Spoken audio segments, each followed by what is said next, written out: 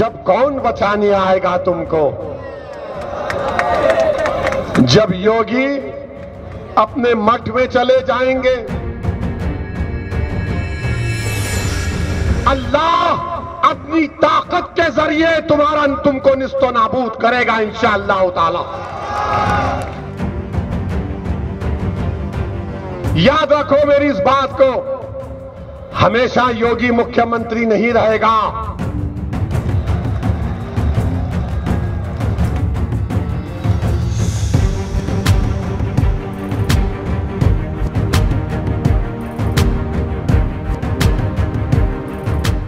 नमस्कार, मैं हूँ आपके साथ रोहित। हैदराबाद के सांसद असदुद्दीन ओवैसी की पहचान ही विवादित भाषण देने की है। वो जब भी कोई बयान देते हैं, उससे विवाद ज़रूर खड़ा हो जाता है। इस बार भी यूपी चुनाव में अपनी पार्टी को लड़ाने उतरे असदुद्दीन ओवैसी धारदार भाषणों से तहलका मचाए हुए हैं। अभी कुछ ही दिनों पहले जिला कानपुर में ओवैसी ने देश के प्रधानमंत्री नरेंद्र मोदी और यूपी के मुखिया योगी आदित्यनाथ के बारे में कुछ ऐसा कह दिया जिसके बाद तो मानो सियासी तूफ़ान आ गया।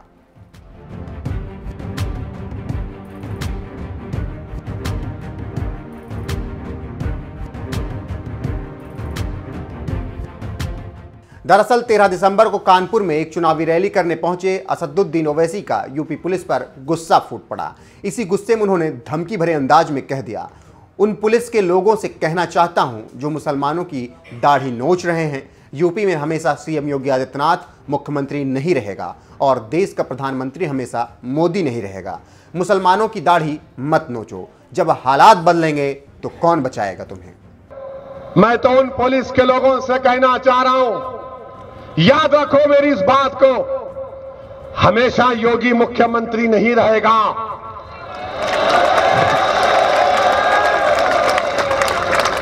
हमेशा मोदी प्रधानमंत्री नहीं रहेगा। और हम मुसलमान वक्त के एतबार से खामोश ज़रूर हैं, मगर याद रखो, हम तुम्हारे जुल्म को भूलने वाले नहीं हैं। हम तुम्हारे जुल्म को याद रखेंगे। अल्लाह अपनी ताकत के ज़रिए तुम्हारा तुमको निस्तो नाबूद करेगा ताला। ओवैसी के इस बयान पर दिल्ली बीजेपी नेता कपिल मिश्रा ने तीखी प्रतिक्रिया दी और कहा, ओवैसी ये ना सोचें कि ये 1921 वाला भारत है। सोहरावादी और जिन्ना वाली जहरीली सोच को निर्ममता से कुचला जाएगा। मोदी योगी अब कहीं ना जाने वाले हैं। ये जितनी जल्दी समझ जाओ, उतना अच्छा होगा। ये नया भारत है आस्तीन के सांपों को दूध नहीं पिलाएगा। उनके फन को अपनी एड़ियों के नीचे कुचला जाएगा। ओवैसी ने जो कहा है कि हिंदुओं, तुम्हें कौन बचाएगा? इसको बहुत गंभीरता से लेने की ज़रूरत है। ये कोई कोरी धमकी या राजनीतिक भाषण नहीं है। ओवैसी जो कह रहा है, ये लोग वो पहले कर चुके हैं। डायरेक्ट एक्शन डे के दिन कोलकाता की सड़कों में जो हुआ, वही तो बोल रहा है ओवैसी दोबारा करने के लिए। लाहौर से, रावलपिंडी से, कराची से जो हिंदू भाग कर आए हैं, उनसे कभी बात कीजिए। ओवैसी जो बोल रहा है, ये सच में किया है इन लोगों ने।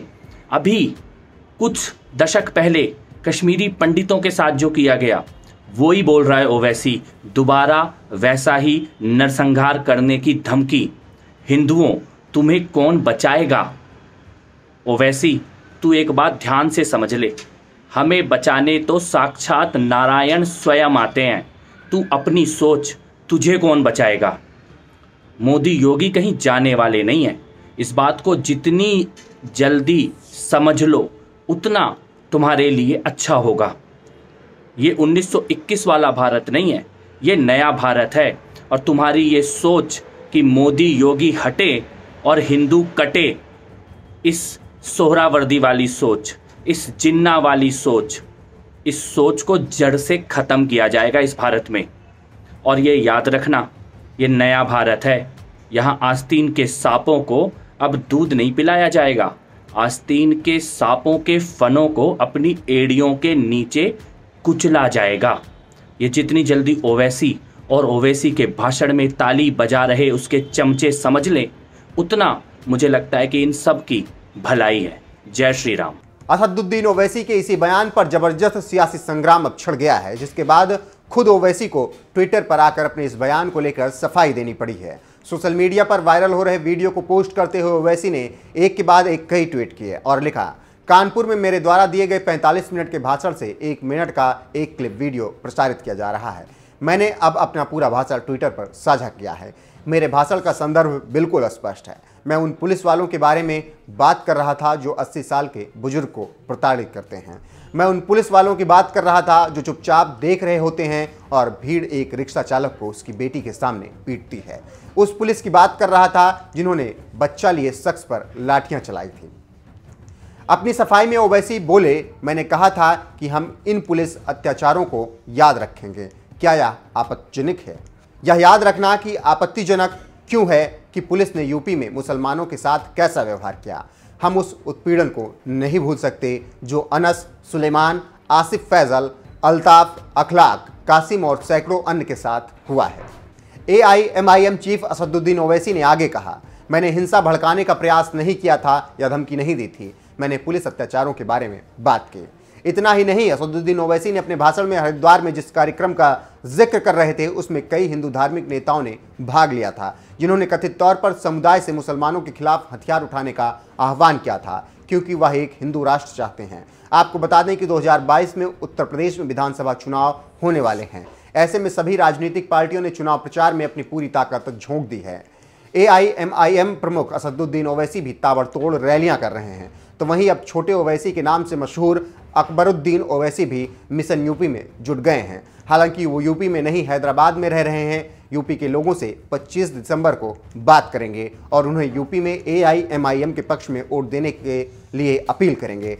बहरहाल, यूपी चुनाव में 100 सीटों पर उम्मीदवार उतारने वाले ओवैसी ने अपने भाषणों पर जो सफ़ाई दी है, उस पर आपका क्या कुछ कहना है? अपनी राय हमें कमेंट कर ज़रूर बताएँ। मैं तो उन पुलिस के लोगों से कहना चाह रहा हूँ, याद रखो मेरी इस बात को, हमेशा योगी मुख्यमंत्री नहीं रहेगा।